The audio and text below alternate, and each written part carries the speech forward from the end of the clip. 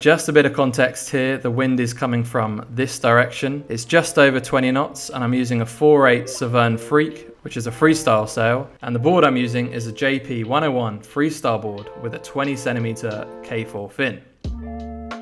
The first tip is to make the arc of your turn bigger. The bigger the arc, the more time you have to play with. More time to position your feet, more time to move your hands, more time for everything. The more time you have, the less you'll feel the need to rush, and the more likely you'll get round the jibe. If you do a tight turn, there's a high chance you'll lose your speed and stall the jibe and end up in the water. So take your time. So just watch where I start the jibe and where I end up. I start pretty high and slowly change my angle onto a broad reach by putting just a little bit of pressure on the rail. Then as I duck the sail, I'm still keeping that little bit of pressure constant and by the time I'm on the new side, I'm pretty much pointing dead downwind. And then to exit, I slowly come up to the broad reach on the new side. Not only does this help by giving you more time, it also helps you keep the speed the whole way through, which is super important.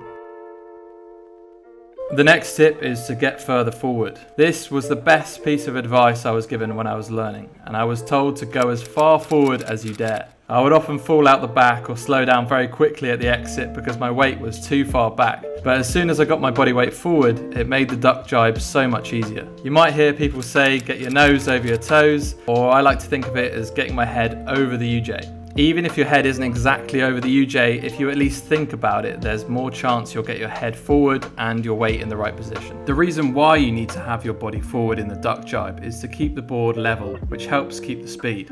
You can see here that as I place my back foot onto the rail, I'm almost letting the sail pull me forward. When you do the duck, there's no power in the sail, so you need to rely on your body being forward to keep the board level. Once you're on the new side and the power comes back into the sail, the master pressure will keep the board level. You can see even on my jibe here, the nose starts to come up slightly, so I could actually be even further forward, but I kind of save it getting the power back in the sail to keep the nose down.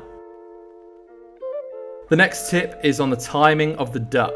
To make it simple, duck the sail on a broad reach. The reason for this is that the faster you're going, the easier the sail is to control and the lighter it feels. The broad reach is the fastest point of sail, so once you get to the angle of the broad reach, that's when you should ideally duck the sail.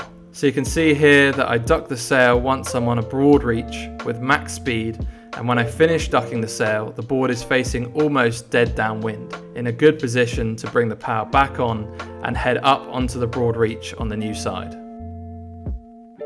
If you have more attempts at the duck jibe, there's a higher chance you have of learning or improving it. The best way to do this is simply do shorter runs. There's a time and a place for long blasting runs in a straight line across the bay, but if you're trying to learn quickly, you have to actually be working on the jibe. And by doing shorter runs and jibing at both ends, you'll pick it up much sooner. When I'm learning a new move, I'll spend the first part of the session focused on the first 10 attempts, just to see how I do, and usually to find some common mistakes. And then from there I can make tweaks and adjustments, but if you just do 5 jibes over a 2 hour session, it's very difficult to improve.